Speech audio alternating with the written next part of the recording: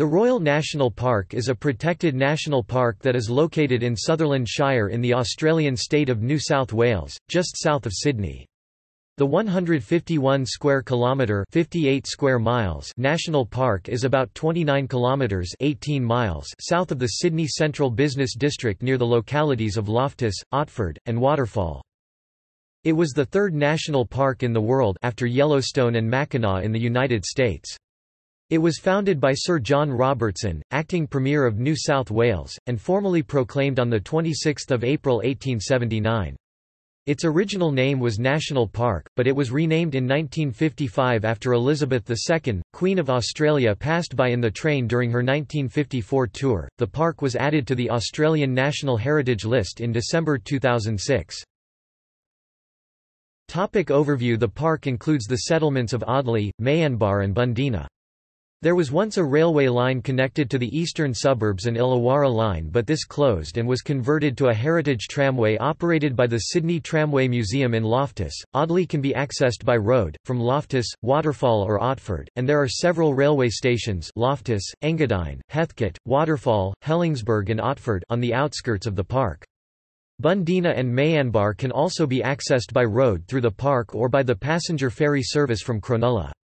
There are numerous cycling and walking trails, barbecue areas and picnic sites throughout the park. Over 100 kilometers of walking tracks take in a wide range of scenery. Cycling is allowed on some fire trails and only on specially marked tracks within the park. The specially marked mountain biking tracks are bi-directional, care should be taken when traversing these trails. A fee of $12 applies when taking a car into the park. The most popular walk is the Coast Walk, which skirts the park's eastern edge and delivers exceptional coastal scenery.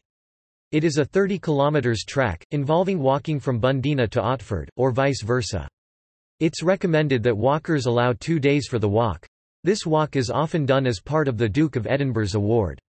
The Wallamara track Wallamara is an Aboriginal word for education, protect was constructed in 1975 to meet the growing need for environmental education and as a supplement to the park's walking track system.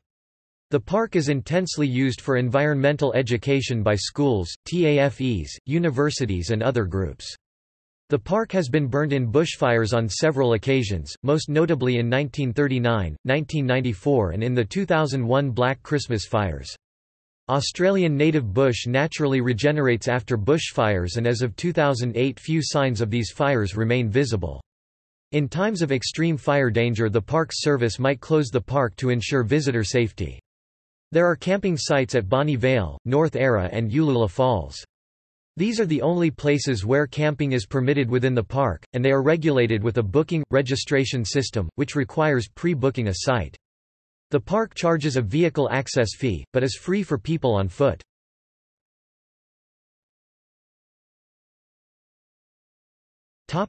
Geography, flora and fauna Royal National Park contains a wide variety of terrain. Roughly, landscapes in the park vary from coastal cliffs broken by beaches and small inlets to an ancient high plateau broken by extensive and deep river valleys. The river valleys drain from south to north where they run into Port Hacking, the extensive but generally shallow harbour inlet which forms the northern border of the park. When looking across the park from east to west or vice versa the rugged folds of valley after valley fade into the distance. The geology of the site consists mostly of the Triassic Hawkesbury sandstone with some sections of the park having the more recent richer Wianamatta shale capping. Deep below the Hawkesbury sandstone belt lies Narrabeen shales which is mixture of shale and sandstone under which and within which are untapped coal seams which run right through Sydney and are mined extensively where they come closer to the surface south of the national park near Wollongong. Sections of recent alluvium fringes of estuarine watercourse where the endangered ecological communities, swamp oak woodlands and swamp mahogany woodlands grow still.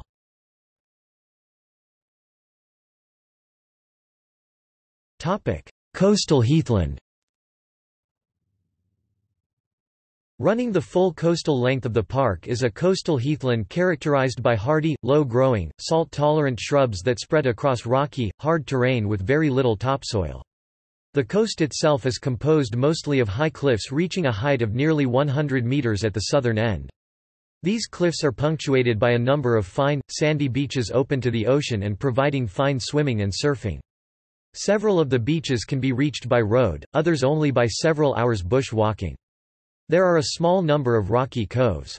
The beaches, two of which have volunteer surf life-saving clubs and large car parks, are amongst the most visited areas of the park. These heathlands are a hotspot for many small birds that have forsaken the suburbs of Sydney such as the New Holland honeyeater. Common vegetation on the exposed heaths on the headlands and cliffside paths include coastal rosemary, darwinia, bracelet honey myrtle, she oak, white kunzea, sundew, grass trees, ridged heath myrtle, snakehood orchids, prostrate forms of coast banksia and long-leaf matrush. Common vegetation on top of the ancient sand dunes above the coastal path include silver banksia, banksia marginata, scrub oak, Allocasuarina distyla, silky hakea, hakea sericea, and pine heath, Astroloma pinifolium. Sections of rare and threatened clifftop grasslands occur along exposed and windy sites which are generally dominated by long leaf mat rush and kangaroo grass, Themeda australis.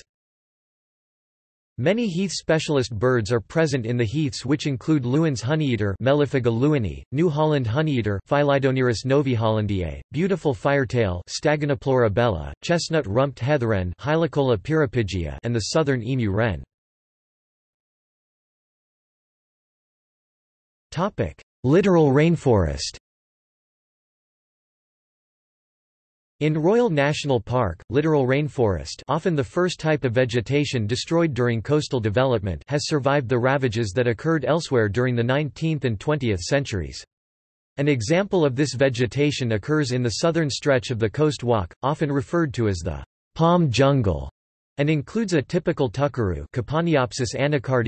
forest, undergrown by coastal tea tree Leptospermum laevigatum and long-leaf matrush Lomandra longifolia.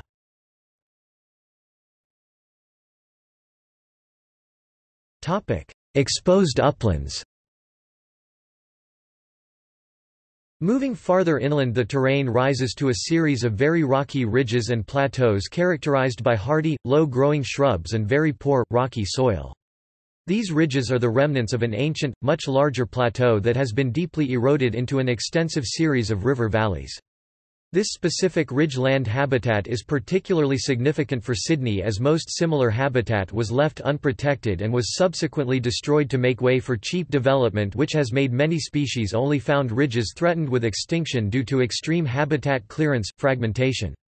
Soils on plateau land are often up to 2 meters deep and consist of on sandstone ridges, sandy podsol interspersed with pockets of clay-derived Clay ridges and plateaus also have deep soils but are far rarer due to lack of representation in the park on these sites the soil is derived from Wianamatta clay and is considered rich land producing good quality forest.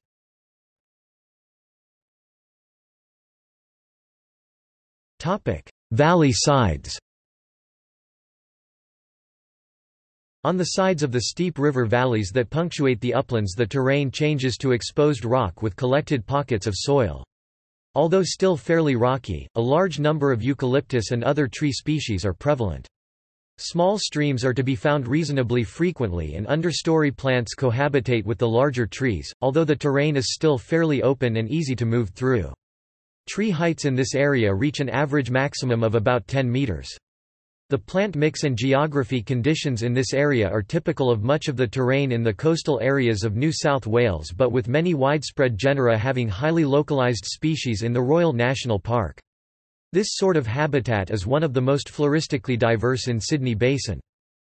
This environment is classed as sclerophyll open forest and is divided into dry and wet sclerophyll forest. Factors that shape this habitat are primarily bushfires, low phosphorus, nitrogen levels, intense summer heat and low water levels resulting in a diverse floristic assembly of flora and fauna with apparently divergent paths in similar habitats, for example scribbly gums Eucalyptus racemosa, sclerophylla, haemastoma have smooth-barked trees in a manner which reduces their chance of catching on fire while stringy barks Eucalyptus sp. have bark which easily catches alight clearing the way for its fire-stimulated seedlings.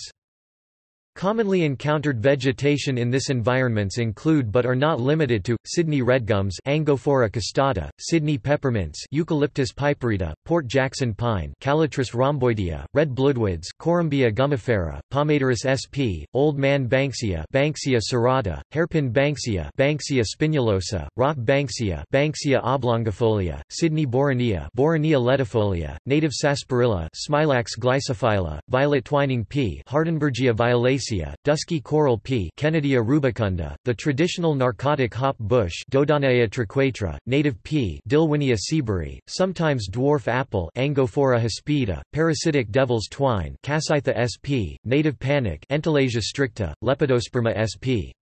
Grass, forest grass trees Xanthorrhoea arborea, Sydney wara ta Telopea speciosissima, flannel flowers Actinotus minor as well as Actinotus helianthi, blueberry ash Elaeocarpus reticulatus, silky hakea Hakea sericea, variable bossiaea Bossiaea heterophylla, bonnet orchids Cryptostylis erecta, hyacinth orchids Dipodium variegatum, punctatum, roseum, Pomax umbellata, native parsley Lomatia ciliifolia, edible native currants Leptomeria acida, broad leaved geebungs Persoonia levis, Sydney golden wattles Acacia longifolia, Gymea lilies Doryanthes excelsa, various shio oaks Allocasuarina littoralis, distyla, verticillata etc., flax-leafed wattle Acacia linifolia, bracken Pteridium esculentum, grey spider flower Grevillea buxifolia, sphacelata, red spider flower Grevillea oleoides, pink spider flower Grevillea sericea and native iris Patersonia sericea, glabrata, longifolia to literally name a few of the hundreds of beautiful flora encountered in this diverse and widespread habitat.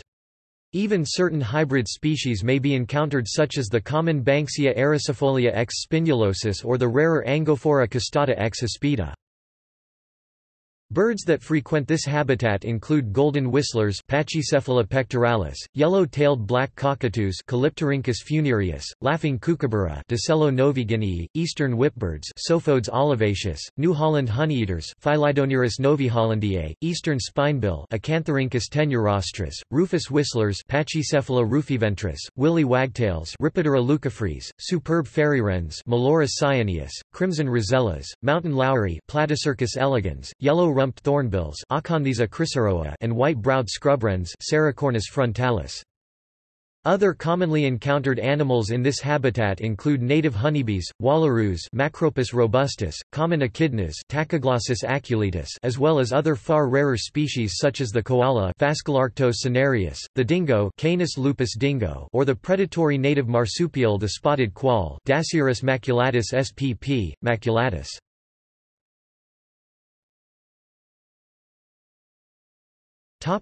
Valley floors With rich soils and good supply of water the valley floors are cooler and more humid than any other part of the park. Large tree species such as Australian cedar Toona ciliata previus. T. australis and the larger eucalypt species dominate. Tree height reach 50 meters or more and a rich understory of fern, wattles, and other medium-size plants proliferate. Some small areas are classified as temperate rainforest. These areas are characterized by dense groves of very large trees including the iconic Port Jackson fig Ficus rubiginosa and Moreton Bay fig Ficus macrophylla trees. The absence of light leads to a lack of undergrowth other than a profusion of ferns. These are among the more popular areas for visitors to the park. The Park Service is also very careful to protect these areas due to their general rarity in the hot, arid Australian landscape. Impressive groves of turpentine glomulifera and blackbutt Eucalyptus trees may be seen growing straight up into the sky forming an open canopy with widely spaced trunks. In these characteristic areas they are generally considered open forest, they may have a grassy understory, a sclerophyll shrubbery or alternatively they may have a rainforest subcanopy or a rainforest understory with growth being densest nearest to the valley floor or permanent watercourses. In these turpentine forests often hundreds of cabbage palms Livistona australis may be seen growing in dense tall thickets which are rarely touched by fire or they may exist as young plants in open grassy spaces which are burnt regularly enough not to form visible trunks. Rainforest pockets are dominated by jackwood and sassafras. The lily pilly produces a fruit edible raw. Another common species is the coachwood which were used extensively from Australian rainforests to manufacture horse-drawn coaches. Birds distinctive to these rich rainforest habitats include top-knot pigeons Lopholaimus antarcticus, green catbirds Ailuroedus crassirostris, rufous fantails Rhipidura rufifrons and black-faced monarchs Monarcha melanopsis. Two interesting birds often encountered in dense scrub or rainforest include the flightless brush turkey lathami and the noise-mimicking superb lyrebird Menura novaehollandiae.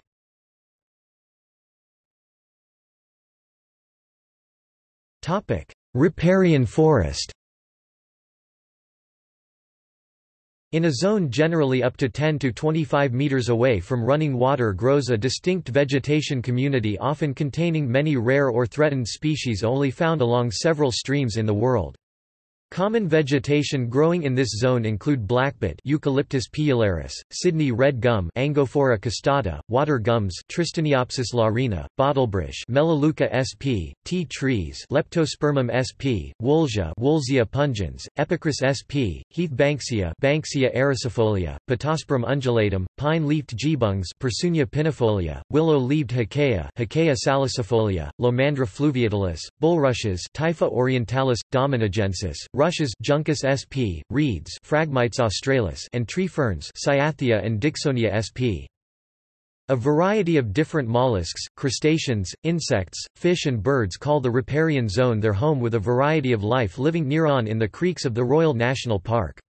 Long-finned eels Anguilla reinhardti which migrate from oceanic spawning grounds as babies and adults mature in the creeks and streams of the Royal National Park and can often be seen in the murky depths of pools and ponds along freshwater courses such as the Hacking River.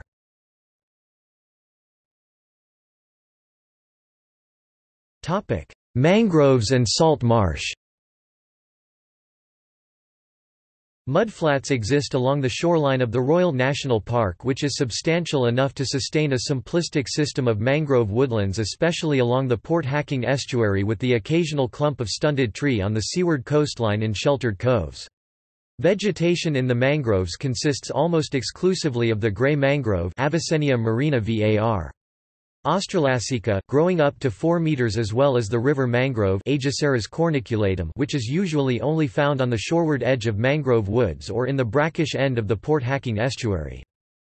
These mangroves are important nursery grounds for nearly all major angling fish including yellowfin bream Acanthopagrus australis, flat-tail sea mullet Liza argentea, luderick, Girella tricuspidata and sand whiting Sillago ciliata which are caught in adjoining waters as adults. Mangroves also provide rich organic matter to the Port Hacking estuary by fixing carbon into the river system through the addition of leaves into the thick rich black mud. Many crustacean and mollusk species rely on mangroves as a source of food whether by providing foraging through leaf litter, mud or direct predation of the mangrove trees and seeds. Soldier crabs Mictyris longicarpus, semaphore crab Heloecius cordiformis, blue swimmer crabs Portunus pelagicus and hermit crabs Pagurus sinuatus also call the mangroves home. A more casual visitor to the mangroves at high tide is the eastern sea garfish australis which scoots around just an inch from the surface and is virtually invisible unless viewed through a snorkel. Dozens of different bird species may be seen foraging in the rich mudflats in and around mangrove flats many of these birds being threatened with extinction and protected by international agreements. Commonly seen bird species include eastern curlews Numenius madagascariensis, striated herons Butorides striatus, brown honeyeaters Lichmera indistincta, little egrets Egretta garzetta, royal spoonbills Platalea regia, white-faced gray herons Egretta novaehollandiae, Australasian little bitterns Ixobrychus dubius, pied oystercatchers Haematopus longirostris, Australasian pelican Pelecanus conspicillatus, sacred ibis Threskiornis mollucus, chestnut teal Anas castanea and azure kingfishers Alcedo azurea.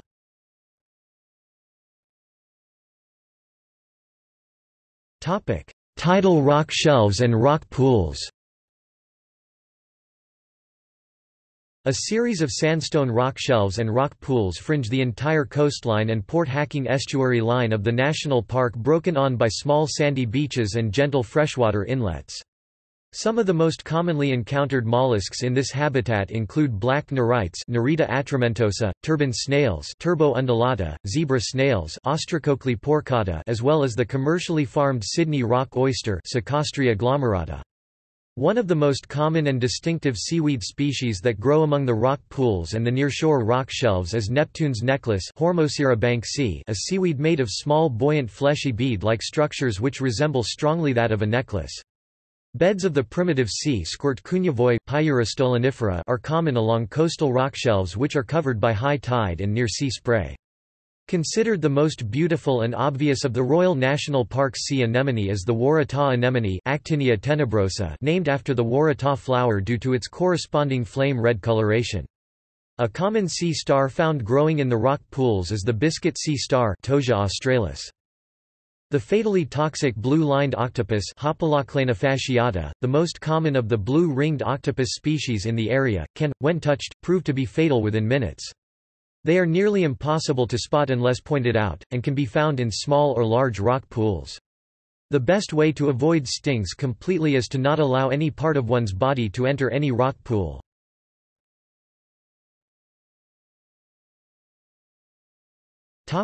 Park highlights Audley, a large, flat area at the base of one of the larger valleys in the park. The main road into the park from the north drops quickly from the heights to Audley, where it crosses the Hacking River on a weir before climbing up the other side of the valley to continue further into the park. Audley was developed in the late 19th century as a picnic area for Sydneysiders on a day trip.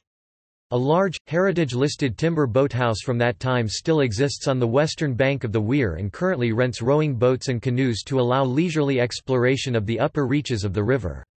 It also rents mountain bikes. A timber dance hall built in the early 20th century on the eastern bank is available for functions.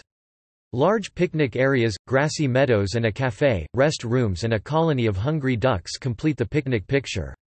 Audley is as popular with families today as it was in the 19th century. After a heavy rain the Weir floods, closing the road and forcing the residents of Bundeena to drive an extra 30 kilometres to the southern end of the park if they wish to drive to Sydney. Jibbon Point, this is the southern head of Port Hacking and has fine views over the Sutherland Peninsula. Aboriginal rock art sites are visible which were used as initiation sites. The name Jibbon stems from the Dharawal word for Port Hacking, Jibbon, Eagle Rock, a unique rock formation near Curracurrang, about halfway down the length of the park on the coast. It is a large rock outcrop that looks like an eagle's head when viewed from the side. The other remarkable feature of Curracurrang are the several waterfalls which tumble over the cliffs and into the sea over 100 metres below. Garie Beach, one of the most popular coastal surf beaches in the park. Wattamolla Beach, a large lagoon tucked behind the beach, which then enters the sea via an ankle-deep stream at one end of the beach. Families enjoy playing in the calm lagoon with their young children whilst adults enjoy the clean, even surf. There is substantial parking places provided but on busy summer Sundays and public holidays, it can fill up early. Wattamolla is a sheltered cove with a sandy bar at the inlet behind which lies a lagoon fed by the waters of Wattamolla Creek and Coot Creek. Coot Creek finds its way down another valley, then as a beautiful waterfall, it rushes over a sandstone rock face into the lagoon below. Figure 8 pool south of Burning Palms Werrong Beach, the only legal naturist beaches in the park. It faces east towards the Tasman Sea. The hill behind the beach is covered in trees and undergrowth. Those who camp overnight can be woken at dawn by wallabies wandering around the campsite or a ranger who might fine you for illegal camping. Lady Carrington Drive was one of the early roads through the park. It runs south from Audley, roughly following the Hacking River upstream from the weir for a distance of about 10 kilometers (6.2 miles) to its end, where it meets the main sealed road through the park. There is limited parking at the southern end. The road was a popular carriage drive in the late 19th and early 20th centuries. It had long been closed to traffic and now forms one of the most popular walking and cycling tracks in the park. It is mostly flat and well formed although unsealed and being a former road averages 4 to 5 meters 13 to 16 feet in width. It passes through valley floor vegetation and in spring is lit up by brilliant yellow displays of wattle trees and oranges and reds of the Australian native banksia trees and waratah flowers. Many secondary schools in the Sutherland Shire area use Lady Carrington Drive for an annual sports or fundraising event where their students walk from the southern end through to Audley where a large barbecue picnic is held. North and South Era Beaches. Camping at North Era Campground overlooking North Era Beach in Royal National Park is allowed. North Era's bush campsites are perfectly located for an overnight stop while walking the coast track.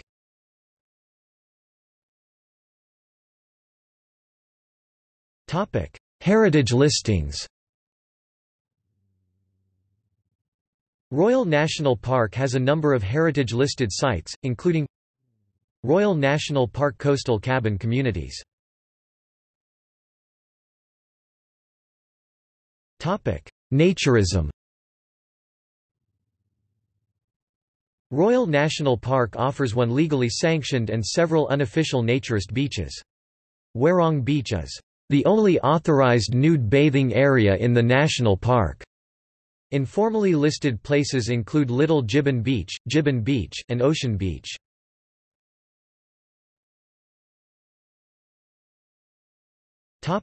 See also. Protected areas of New South Wales. Geography of Sydney.